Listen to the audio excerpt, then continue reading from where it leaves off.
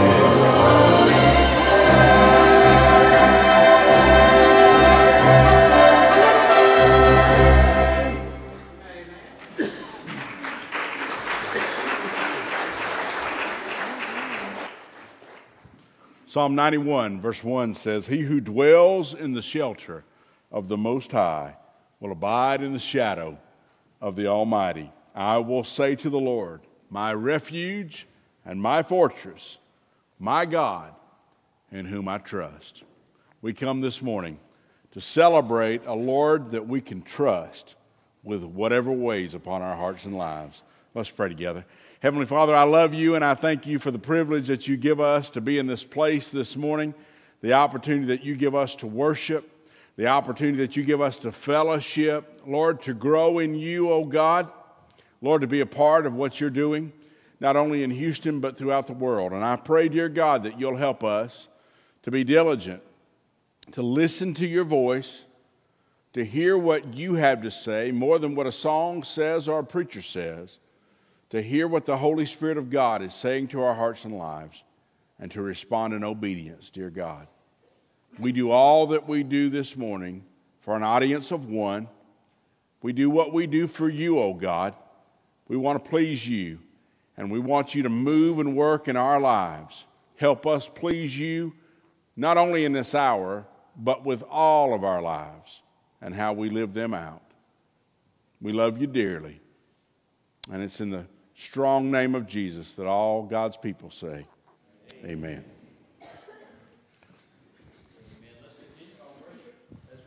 Open the eyes of my heart. Please stand.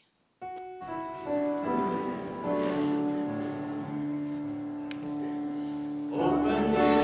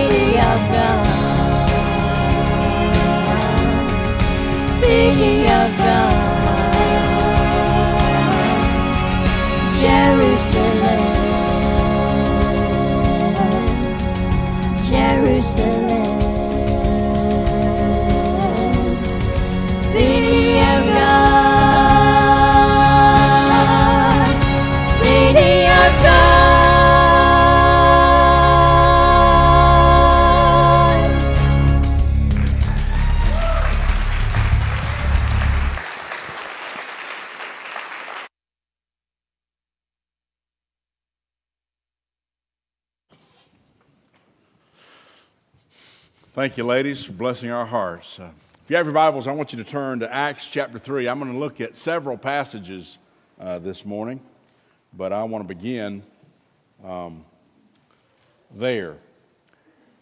Because I really believe that Easter ought to be more than just one Sunday that we dress up nice and everybody shows up.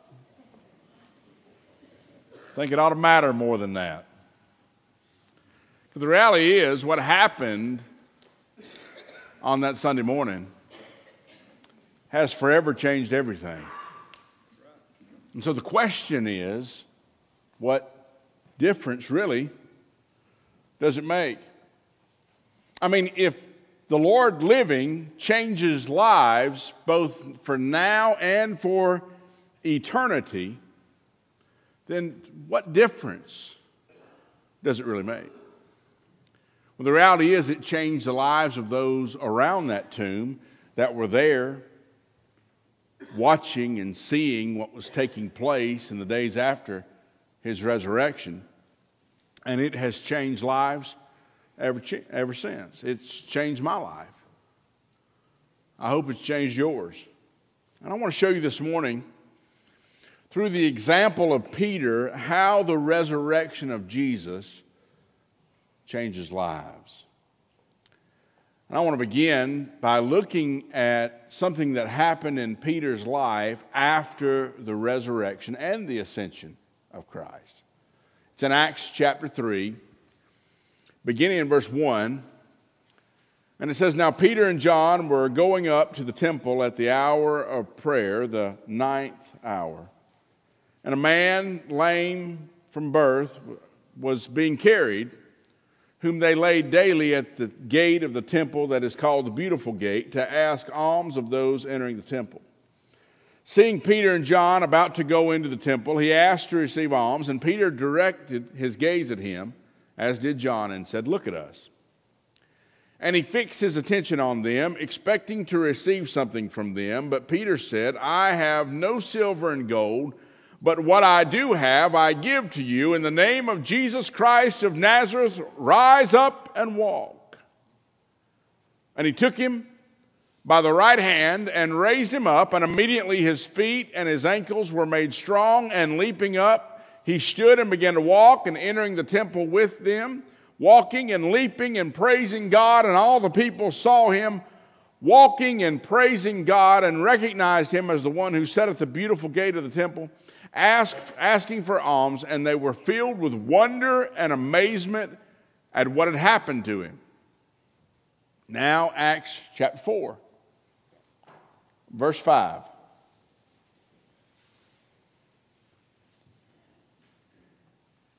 On the next day, their rulers and elders and scribes gathered together in Jerusalem with Annas the high priest, and Caiaphas, and John, and Alexander, and all who were of the high priestly family.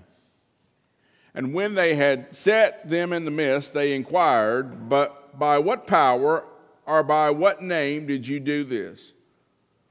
Then Peter, filled with the Holy Spirit, said to them, Rulers of the people and elders, if we are being examined today concerning a good deed done to a crippled man, by what means this man had been healed, let it be known to all of you and to the people of Israel that by the name of Jesus Christ of Nazareth, whom you crucified, whom God raised from the dead, by him this man is standing before you well. This Jesus is the stone that was rejected by you, the builders which have become the cornerstone, and there is salvation in no one else, for there is no other name under heaven given among men by which we must be saved. I thought Peter was that poorly spoken bumbler. That guy that always says too much at the wrong time. Had a foot shaped mouth.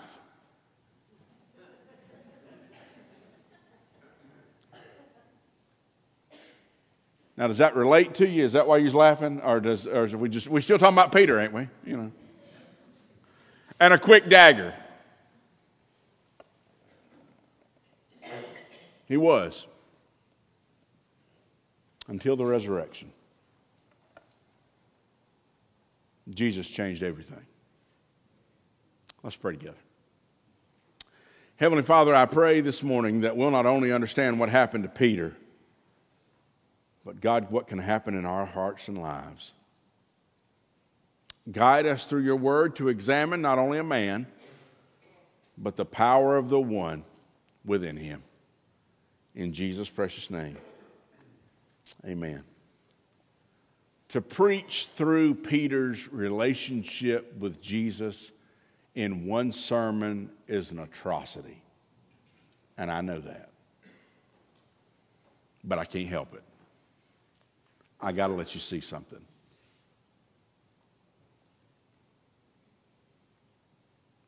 You see, I think for too long we've missed what this resurrection is all about. We grasp that it's an exciting time and the, the beauty of the, the atmosphere at spring and the opportunity for us to worship and to have folks that we hadn't seen since last Easter sit beside us and all that stuff. It's fun. But there's so much more to it now. I want you to first see the prophecy of Peter. It's in John chapter 1. It's when Jesus spoke to him in John 1, verse 35. It says, The next day again, John was standing with two of his disciples, and he looked at Jesus as he walked by and said, Behold, the Lamb of God. The two disciples heard him say this, and they followed Jesus. Jesus turned and saw them following and said to them, What are you seeking? And they said, Rabbi, which means teacher, where are you staying? He said to them, Come and you will see. So they came and saw where he was staying, and they stayed with him that day, for it was about the tenth hour. One of the two who heard John speak and followed Jesus was Andrew, Simon Peter's brother. He first found his own brother Simon and said to him, We have found the Messiah, which means Christ. He brought him to Jesus, and Jesus looked at him and said, You are Simon, son of John. You shall be Cephas, which means Peter. Now, I want to be clear Cephas, or Peter, was just a, a fisherman that did not really know Jesus. His brother had shared with him what he had experienced. His brother shared with him what he knew about Jesus. I bet it was not elaborate. I bet that he hadn't taken CWT. And if you've been a Southern Baptist for less than 30 years, you don't know what I'm talking about. But anyway, I bet he hadn't been through intense evangelism training. I think what he did was just share what he knew. You know, friend, what he did for his brother is exactly what we're to do. If you really believe this stuff about Christ, if you really believe that He'll change your life and that your relationship with Him, your investment with Him will only go greater the more you share it, well, then live it out and get busy at it. Well, I don't know what all to say. Tell them what you know about Jesus every opportunity that you get. Now, when Jesus looked at Peter and told him this, they must have thought he was crazy. He apparently didn't know Peter. He must not know whom he's talking about because Peter was far from being a rock, which is what it means. Petra is a rock. Peter. He was more like a bucket of slime. I mean, the man was strong willed, he was quick tongued.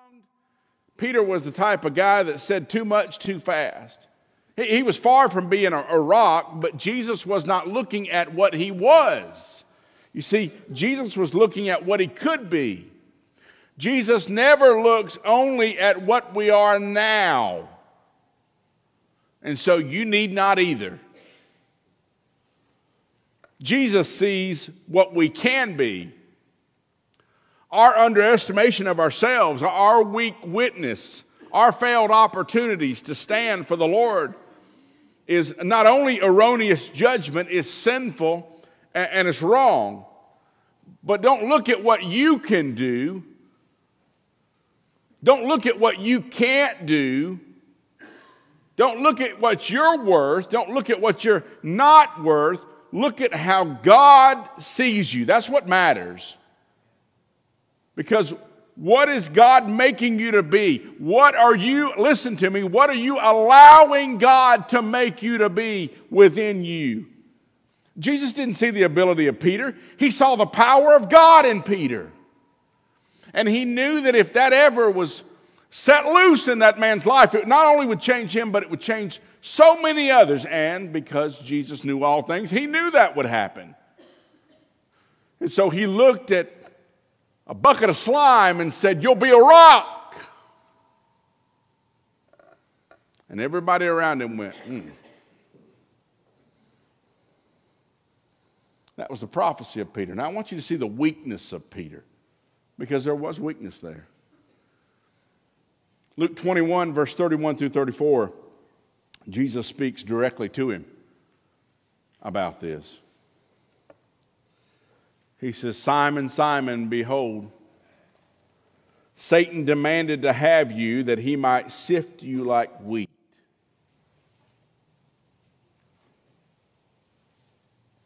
You know what sifting is?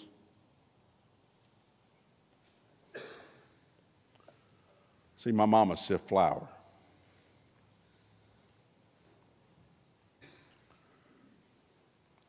Shake it up. Move it around. Break it down. Satan has demanded that you might be sifted like wheat.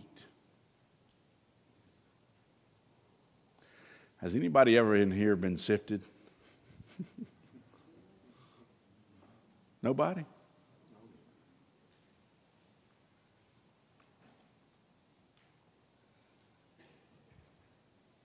He says, But I prayed for you that you that your faith may not fail. And when you turn again, strengthen your brothers. Peter said to him, Lord, I'm ready to go with both with you both to prison and to death. And Jesus said, I tell you, Peter, the rooster will not crow this day until you deny three times that you know me. Is Jesus going back on his word here? Because it appears that he, he got it wrong. I mean, that rock part. Because now Jesus is saying that he's going to fail, but out of that failure is going to come success. He says, You will be sifted. I hope your faith will not give out. I hope your faith will return. I heard something years ago, I never will forget it.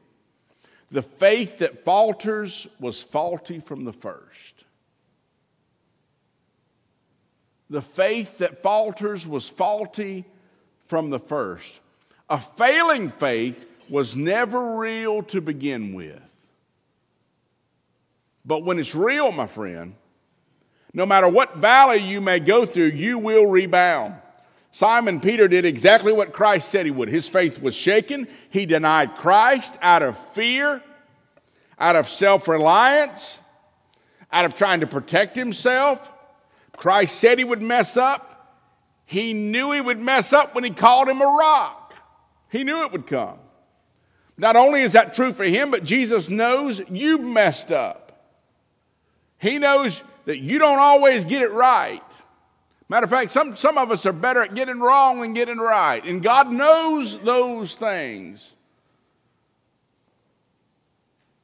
But what does he say? He says, Peter, I prayed for you. Hebrews 7:25 tells us that he lives to pray for us, that he intercedes for us. What is Jesus doing now? He's sitting at the right hand of the Father making intercession for us he also tells him if it's real, this faith, if it's real, it will return. And when it does, strengthen others in what God has done for you. Because, my friend, I want you to hear me today. It's not what happens to you, it's what happens to what happens to you. When you face hardship, it will either make you bitter or it'll make you better. But listen, if there was not weakness in our lives, there would be no need for the cross. But because there is weakness in our lives, we need Him desperately. I'm not just talking about me. I'm not just talking about them other people. We all need Him desperately. We have weakness. I want you to see the renewal of Peter. You know this passage. It's John 21. It's verses 15 through 17. It's after the resurrection of Christ.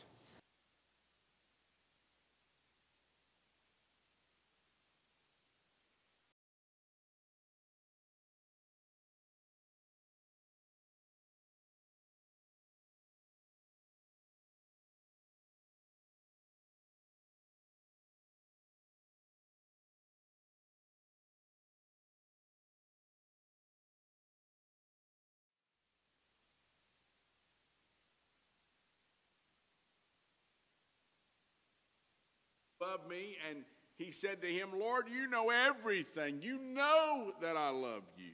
And Jesus said, Feed my sheep. People have often looked at this passage as significant and they've wondered how it's significant.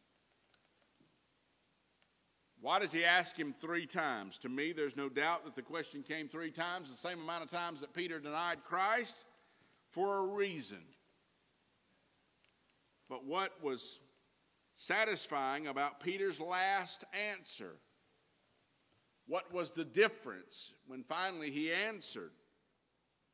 Now, I've heard wonderful, meaningful sermons on the usage of the Greek word for love. Because the first time he asked him, he said, Peter, do you agape me? Which means 1 Corinthians 13 love is what I call selfless love. It's putting somebody completely before yourself. It's laying down your life for someone else. Okay? That's what agape is. Peter, do you agape me? Lord, you know that Peter, do you agape me? Then he says, Peter, do you phileo me? Phileo is the word that's in Philadelphia. And Philadelphia, Delphia means city. Philadelphia is the city of brotherly love, or at least the name is. Don't know that the town, it's the city.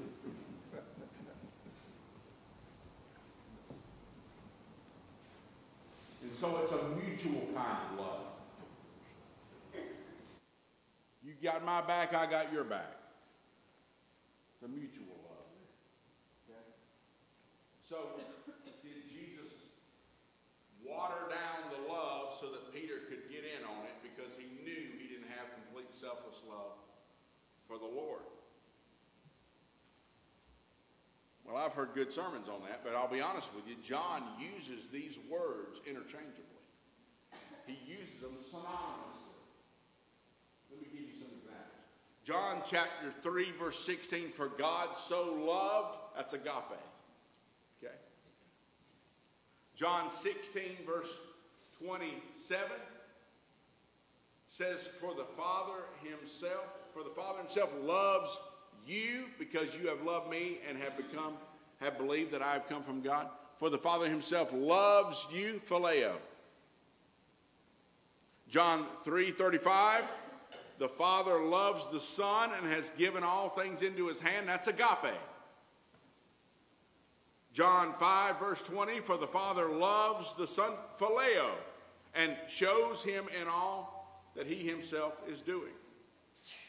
John chapter 13, verse 34, a new command I give to you, that you love one another, agape.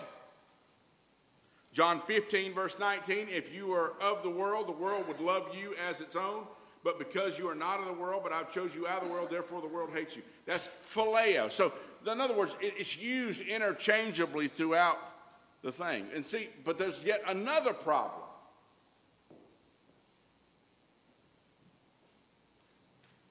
Because Jesus didn't speak Greek.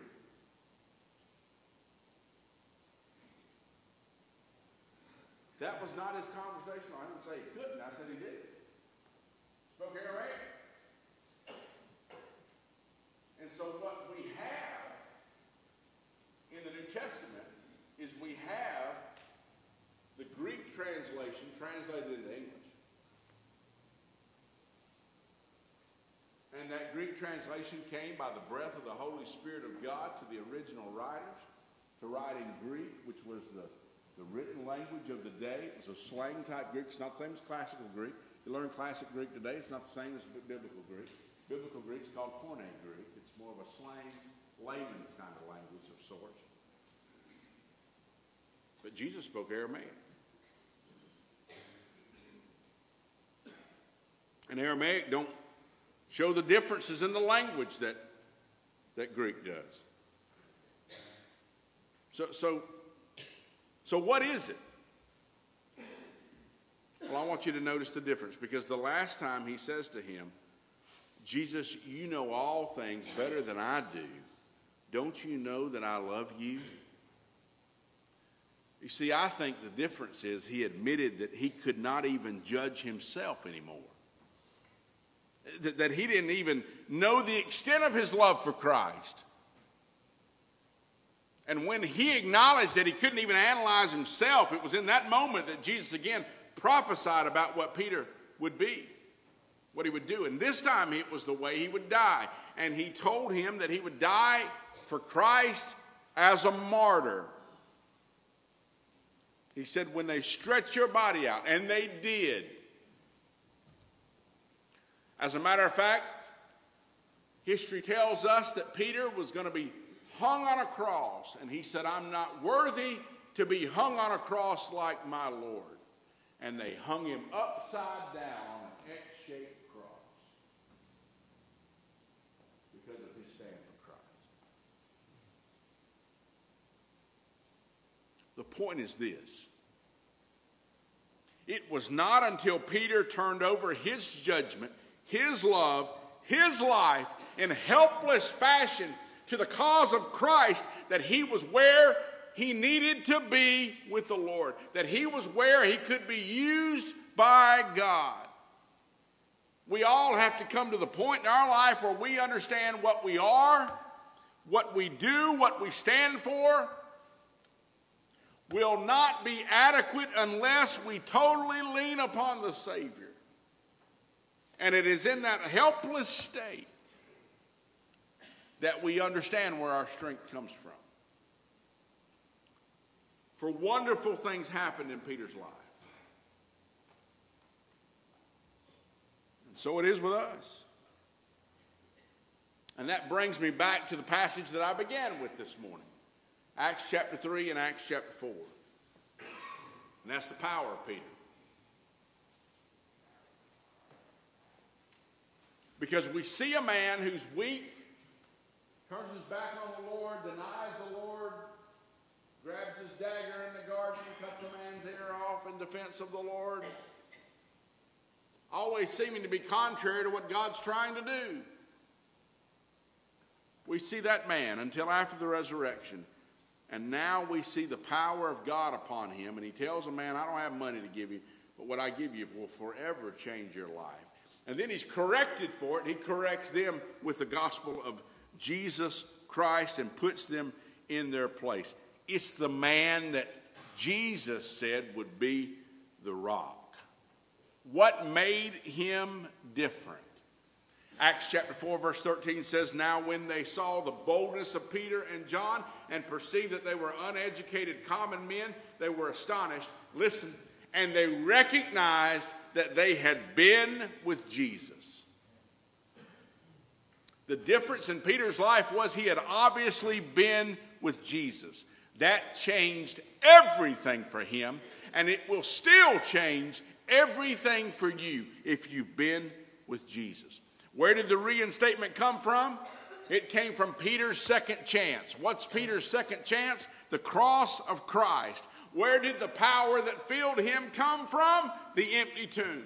John 11, 25 and 26, Jesus said, I am the resurrection and the life. He who believes in me will live even though he dies, and whoever lives and believes in me will never die. As the old hymn says, there's power, power, wonder working power in the precious blood of the Lamb. So, what's the Peter principle? It's simply this the events of the cross the reality of an empty tomb transforms lives.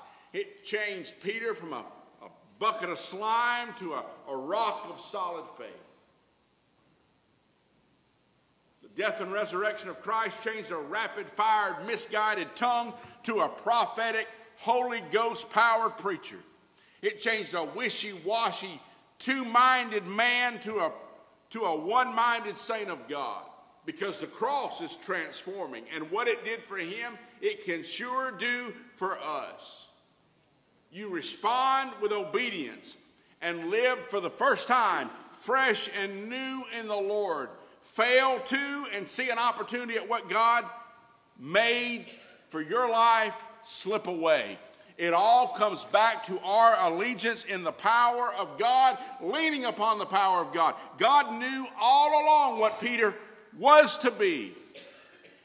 And do you know what? God knew all along what you are intended to be. Well, I ain't got it in me. Where you need Him in you. And if you've got Him in you, you've got everything you need to be everything that God would have you to be. You just need to tap into what you got. Will you surrender to Him today? Will you dip into what you got in the Lord Jesus? If you've never surrendered your life to the Lord Jesus Christ, how desperately you need to do that. It'll forever change your life. You'll be changed, yes, for all eternity, spend eternity in heaven, but more than that, for right now, today, what difference does it make? He'll change your life now. Christ said, I've come that you might have life and have it more abundantly. He's not talking about this forever. He's talking about the quality of our life right now. And when we lean on Him and allow Him to guide us and lead us through our lives, what difference it makes. Maybe you have surrendered your life to the Lord. But it ain't making enough difference. You don't feel like a rock. It was when Peter surrendered, not his strength, but surrendered his strength to the strength of the Lord in his life. Emptied himself of who he was and allowed God to fill him with who God is. That he spoke with boldness and men who never walked walked. And folks who knew all the answers were bones. And he led them to the answer.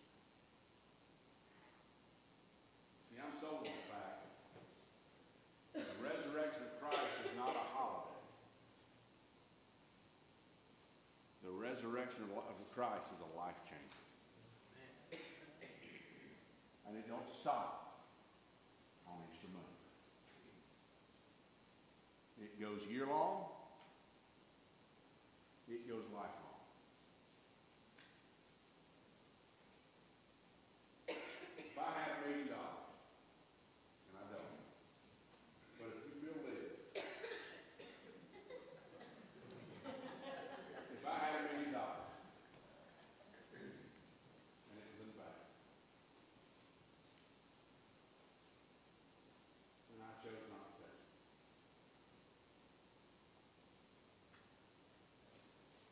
and my clothes got wore out,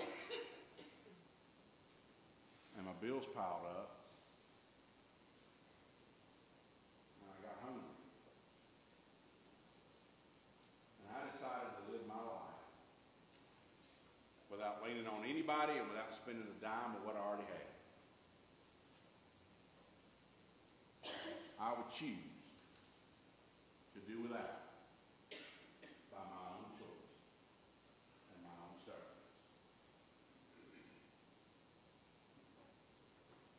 What God has given you in Christ Jesus is much more than meets not. And you can leave the power of the Holy Spirit of God untapped for your life. But don't you bellyache and complain about being spiritually hungry.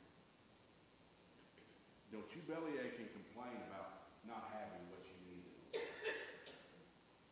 Don't wonder. Just tap in to what you got in Christ. He will forever change. With every head bowed and every eye closed, I cannot help but think of the many situations in lives all across us all shoulders. Points of discouragement, points of dismay, points of indecision.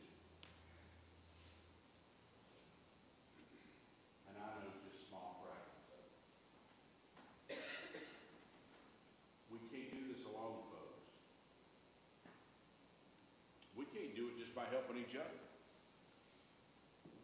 We've got to tap into what we have in Christ Jesus. Peter did that, it forever changed. If we'll do that, it'll forever change us. My prayer for you this morning is that you'll do that. Heavenly Father, I love you, and I thank you for what you've given us in Christ. Help us not to be ashamed, O God. Help us lean totally upon you. Surrender all that we have to you. In Jesus' precious name. Amen. If you would stand together. We're going to sing, but more important than singing, I want you to obey God this morning. Maybe you pray, maybe you want somebody to pray with you. Maybe God's going to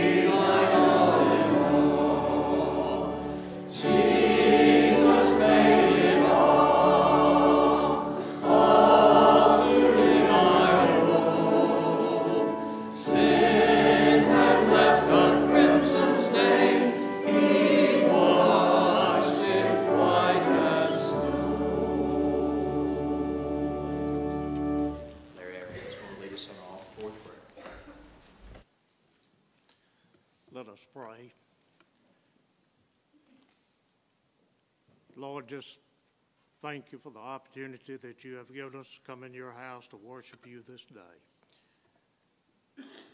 And thank you so much for the love that you have shown each one of us. Lord, you love us so much that you gave your only begotten Son, Jesus Christ, to die for our sins. And we thank you for that, Lord. And Lord, you have been so generous to us and blessed us in so many ways. And Lord, just help us to be generous to you as we gather these tithes and offerings. And help us to be good stewards of your money. For these things we ask in your name. Amen.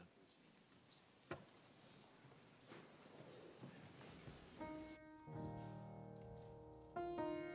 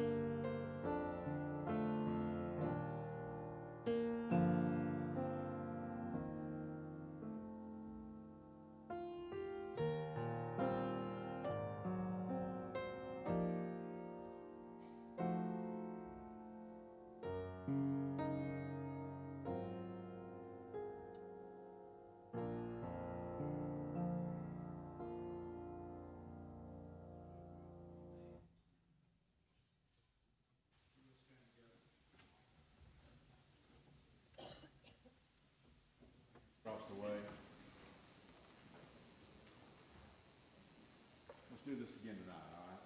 Amen. Let's pray together. Lord, I love you, and I thank you, dear God, for the love that you have for us. Help us to walk in the power of the Holy Spirit of God in all we do.